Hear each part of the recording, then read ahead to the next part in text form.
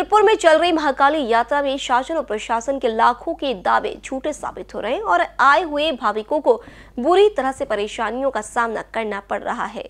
श्रद्धालुओं के लिए न रुकने की व्यवस्था है और न ही छाप की व्यवस्था है और न पीने के पानी की बराबर व्यवस्था है। और तो और, झटपट नदी में स्नान करने के लिए महिलाओं को कोई अलग से सुविधा नहीं है। और महिला पुरुष एक ही जगह गंदे पानी में स्नान करने को और महिलाएँ वहीं पर खुले में कपड़े बदलने को मजबूर है। प्रशासन और नेताओं के बड़े बड़े वादे और ऐलान की सच्चाई उजागर करने को पार्थेश्वर समाचार की trainee video journalist Neman Dhankar और सुनील देवांगन वहाँ पर शूटिंग करने गए। ऐसे में वहाँ पर कार्यरत पीएसआई गिरनाम ने बिना कोई पूछताछ किए और पत्रकार का आई कार्ड दिखाने के बावजूद नेमन बुरी तरह पिटते हुए थाना चौकी ले गए और उससे मोबाइल छीन कर मोबाइल की रिकॉर्डिंग डिलीट कर दी और करीब एक घंटे बाद उसे छोड़ा। इससे पत्रकारों में बुरी तरह गुस्सा उमड़ा है और पुलिस की इस हरकत की सभी पत्रकार निंदा कर रहे हैं और स्थानिक आमदा, खासा, पालक मंत्री और महानगर पालिका आयुक्त से अपील कर रहे हैं कि वह इस परिसर का मुआयना करे और भक्तों के लिए उचित इंतज़ाम करे और पत्रकारों की सुरक्षा के लिए व्यवस्था करे।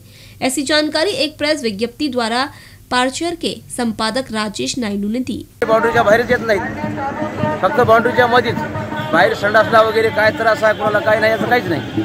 त्याच्यापाशी गेलं तर त्याने बोलतात. नाही तर कशाला बोलतात? आता माणूस आपला जर गेला तर चौकीमध्ये जाऊन सांगावं लागेल की बा आमचा माणूस गेला. मोबाईल गेला साहेब एक. हा. रात्री आमच्या रूम मोबाईल मोबाईल गेला चौदा हजाराचा मोबाईल गेला चौदा हजाराचा मोबाईल. म्हणजे पोलिसांकडनं तुम्हाला सहकार्य बरोबर मिळत नाही? नाही ना. तो साहेब ते काही नाही आमच्याकडून काही जात फिरत नाही म्हणजे तिथे आणि आपण साऱ्या कागदपत्र आहे. वर्षे मदतच नाही. का म्हणतात आई लेडीज येते कपडे बदलायची व्यवस्था नाही. समजा खुलत आहे आंघोळी तिथंच घ्यायचे जागेवरच पण म्हणजे महिलांना काही वेगळी सुविधा केलेली नाही. सुविधा नाही काही नाही. तर तुम्हाला तुम्ही खुश आहे का या सुविधापासून हा? खुश आहे का तुम्ही? नाही ना आता समजा गडी बी एकात्र बाई बी एकात्र कसं करायचं? बरोबर नाही चुकीचं आहे. चुकीचं आहे. ताई काय नाव तुमचं? कांताबाई. कांताबाई कुठनं आले? सेलूर. सेलू अ, ताई आता तुम्ही इकडे आंघोळीसाठी आले आहे. तर हे सुविधा बरोबर आहे का इकडे? काहीच नाही. काहीच नाही. काय झाली पाहिजे होती? काय नाही काहीतरी बाथरूम फिथरूम पाहिजे होते ना. बाथरूम वगैरे पण नाही आहे काही काही नाही आहे? ताई तुम्ही कुठनं आले? सेलूनच आलो. तुम्हाला असं वाटते इकडे काही सुविधा नाही सुविधा झाली पाहिजे. हो आपण सोबत आहे का? तुम्हाला काय वाटतं भाऊ? इकडे सुविधा बरोबर आहे का? नाही नाही. सुविधा काहीच नाही ना. काय झालं पाहिजे होतं? काहीतरी लेडीज लोकायला यायला काहीतरी असं वेगळं पाहिजे होतं ना? हा. ठीक आहे. भाऊ आपलं नाव काय? तातेभाऊ सकाराम पवार. कुठनं आले? हे परळी तालुका. बरं इकडल्या सुविधाबद्दल काय म्हणणं आहे भाऊ आपला? या सुविधाबद्दल आम्हाला काही बंदोबस्त बरोबर नाही. कसं पाहिजे होतं? महिलांना? फुल बंदोबस्त पाहिजे आणि पाण्याची सोय नाही आंघोळीची सोय नाही बरोबर. या ह्या अवस्थामध्ये लोक आंघोळ करतात. पाणी घाण आहे? हां पाणी घाण आहे. एकदम स्वच्छ पाहिजे. पंढरपूर सारखं पाणी पाहिजे. पंढरपूर एकदम स्वच्छ हा आहे स्वच्छ आहे. चंद्रभागा स्वच्छ आहे. तर तुम्हाला इकडे व्यवस्थेच्या नावाने काय दिसत आहे आणि काय नाही दिसत आम्हाला बरोबर व्यवस्था दिसत नाही. दिसत नाही आहे. हा. महाकालीला दरवर्षी येतो पस्तीस वर्ष झालं पस्तीस वर्षापासून येत आहे. पस्तीस वर्ष झालं मी येतो इथं. बरं. हा. राहायला जागा नाही साहेब. जागा नाही चारशे पाचशे रुपये किराया मागायत खोलील्या एका दिवसाचा एका माणसाला तर प्रशासनाकडे काही सुविधा भेटली नाही का तुम्हाला? काय घेतली नाही. काय म्हणणार साहेब तुमचा? आमचं म्हणणं तेच आहे समजा की अं, का सुविधा नाही काय नाही खोलीला बघलं तर पाचशे रुपये किराया व्हायला गरीब माणसं तिथून आले आम्ही पाचशे कोसाहून हेच आम्हाला काय स्वच्छता व्हावं आम्हाला काही ते व्हावं आमचं हेच म्हणणं आहे दुसरं काही. ताई तुम्ही कुठून आले? हा? नांदेड जिल्ह्यात नांदेड जिल्ह्यातून. इकडे तुम्हाला वाटतं का सुविधा बरोबर आहे? नाही. नाही नाही. का पाहिजे तुम्हाला? आम्हाला राहायला काही राहायला पाहिजे? राहायला सोय नाही पाण्याला सोय नाही. हा.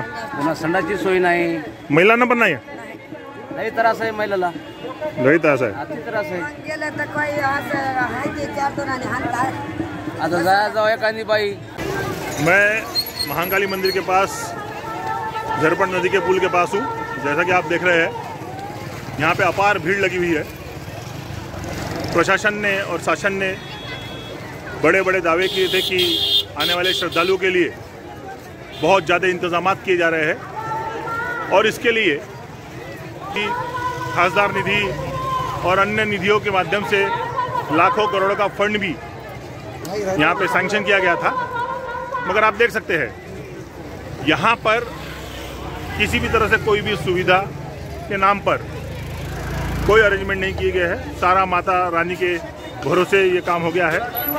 और ये जो पर्दा आपको दिख रहा है, इस पर्दे के पीछे श्रद्धालु स्नान ले रहे हैं। हालत इतनी खराब है कि महिला पुरुष सब एक जगह ही स्नान लेने के लिए मजबूर है। और उसके बाद महिलाओं को कपड़े बदलने तक का यहाँ पे कोई इंतज़ाम नहीं किया गया है। क्या आमदार, क्या खासदार, क्या मंत्री? सभी ने अपनी प्रसिद्धि के लिए यहाँ पे बड़े बड़े बोर्ड, बैनर लगाए हैं। मगर सही मायनों में श्रद्धालुओं को सुविधा के नाम पर यहाँ पे शून्य है। और पार्थशर समाचार के वीडियो जर्नलिस्ट, ये अव्यवस्था का हाल रिकॉर्ड करने के लिए आए थे तो उन्हें यहाँ पे पुलिस द्वारा बिना किसी पूछताछ किए मारपीट की गई है। पार्थेश्वर समाचार इस बात का निषेध करता है, निंदा करता है और पत्रकारों के साथ में इस तरह का व्यवहार पुलिस प्रशासन को किसी भी तरह से शोभनीय नहीं है। इसलिए मैं खुद इसका जायजा लेने पहुँचा हूँ। आप देख सकते हैं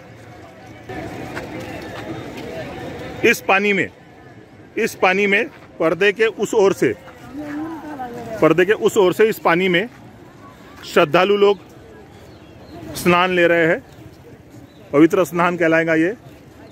तो इस पानी को साफ़ करने की भी प्रशासन, मंत्री महोदय, आमदार, खासदार किसी को भी सूद नहीं थी।